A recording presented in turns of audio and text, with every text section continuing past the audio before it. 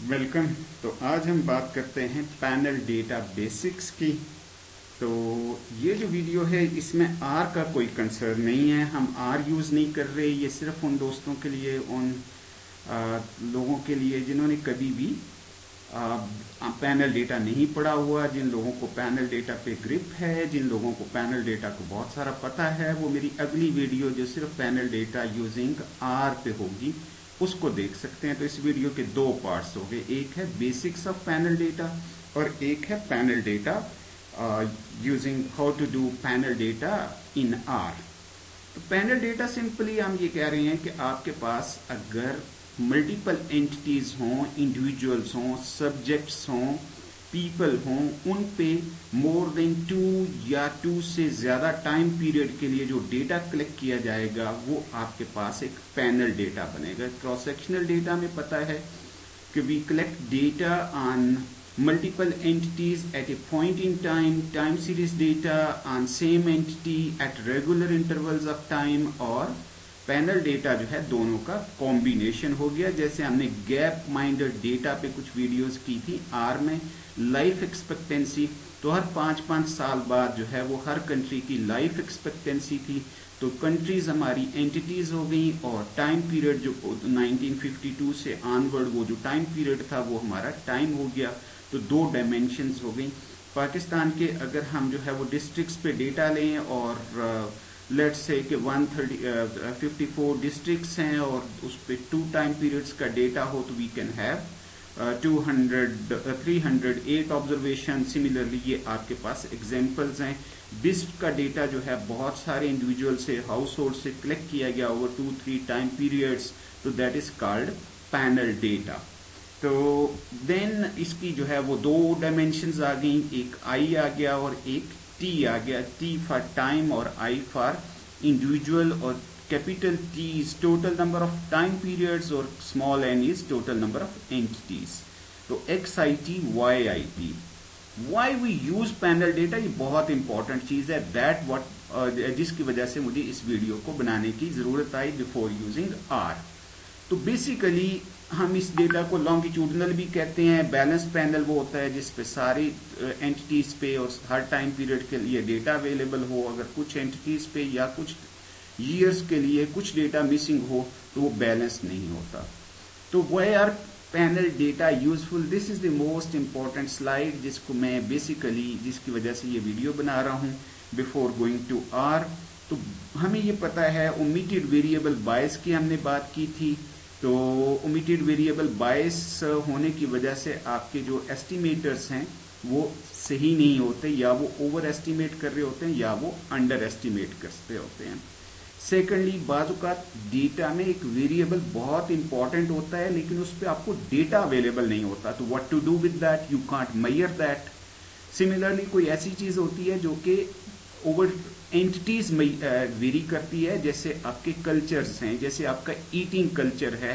पंजाब के लोग शायद मटन को प्रेफर करते हों केपी में दुम्बा और बीफ को करते हों, दिल्ली के लोग कोई और करते होंगे, ढाके के लोग और करते होंगे।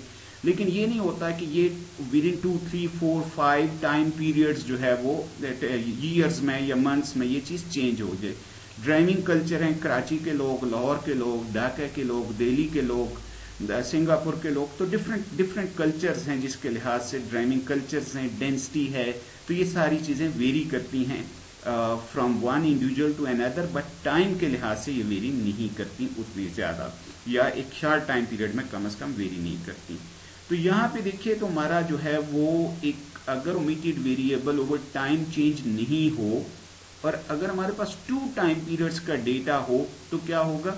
हम डिफरेंस अगर ले लेंगे डिफरेंस एस्टिमेटर यूज़ कर लेंगे तो that issue can be resolve क्योंकि ओमिटेड वेरिएबल जो है वो कैंसिल आउट हो जाएगा। How do we do that let's let's go and see ये जो लेक्चर है, ये स्टॉक एंड वॉटसन की बुक जो है इंट्रोडक्शन टू इकोनोमेट्रिक्स उसके चैप्टर टेन से है तो आप इसको देख सकते हैं।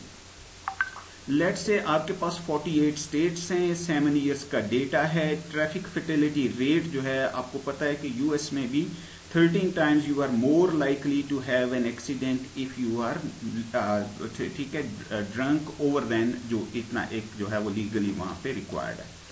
तो वहाँ पे जो बियर टैक्स है, इसको क्यों लगाया जाता है? तो देर मे बी अ रीजन कि हमने फर्टिलिटी रेट को कम करना है ड्यू टू जो है वो ड्रंक ड्राइविंग तो आप देखिए तो हमने 1982 का 48 स्टेट्स का data on beer tax regress किया तो ये हमें पता चला कि बियर टैक्स बढ़ाने से फर्टिलिटी रेट बढ़ जाएगा.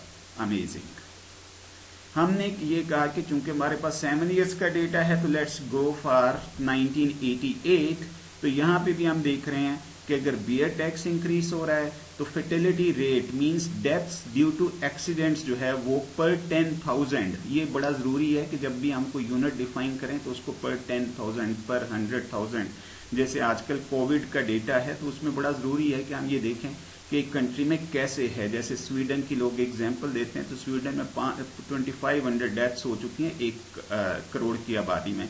तो उस लिहाज से पाकिस्तान की, इंडिया की, बांग्लादेश की, ये डेथ्स कैलकुलेट की जा सकती हैं।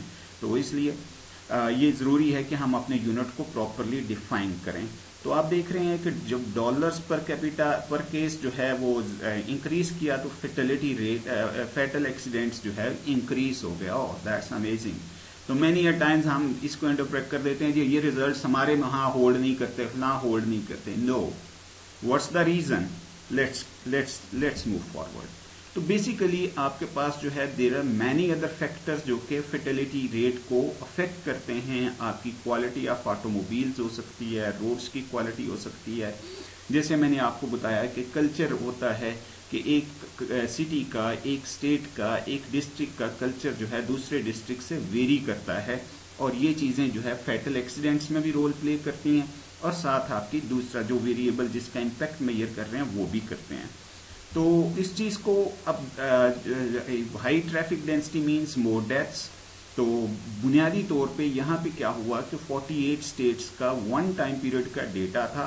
तो जहाँ पे ज़्यादा डेथ थी, वहाँ पे ज़्यादा बियर टैक्स था। तो आपको रिज़ल्ट नज़र आया कि जी आपके पास जो है, जो increasing in beer tax leads to more more traffic accidents तो ये बेसिकली दो कंडीशंस हमने किसी पहले वीडियो में एक्सप्लेन की थी। मैं दोबारा से कह दूँ कि अगर एक वेरिएबल आपके रिग्रेसर से कोरिलेटेड हो और डिपेंडेंट वेरिएबल का वो डिटर्मिनेंट हो और आपने उसको मॉडल में इंक्लूड नहीं किया तो that will lead to omitted variable bias अब इस ओमिटेड वेरिएबल बायस को पैनल डेटा जो है helps to eliminate helps to eliminate कैसे? क्योंकि मैंने अभी कहा कि कुछ वेरिएबल्स जो है ये कल्चर्स ठीक है, और इस तरह की जो है वो बिहेवियर्स ये सारी चीज़ें एकदम से चेंज नहीं होती, दो चार साल में चेंज नहीं हो जाती।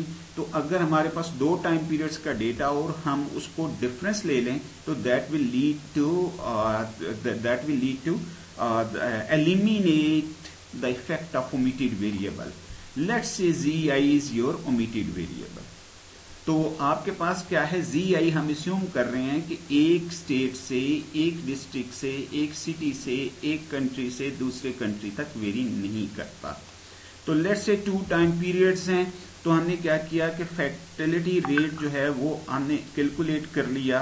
ये 1988 का 1982 का और उसके बाद क्या किया? इन दोनों का हमने डिफरेंस अगर ले लेंगे तो क्या होगा क्योंकि G I over time change नहीं हो रहा तो ये इफ़ेक्ट कैंसल आउट हो जाएगा और चूँकि ये आपके पास यू आई नाइनटीन एटी तो इनका डिफरेंस भी जो है वो इंडिपेंडेंट ऑफ़ बी टैक्स हो जाएगा।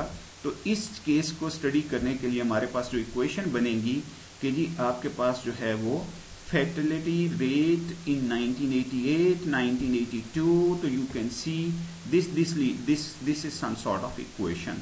तो मैं इसको बहुत ज़्यादा लंबा करने से बचाने के लिए थोड़ी, कुछ चीज़ें स्किप कर दूँगा, आप इसको रीड कर सकते हैं।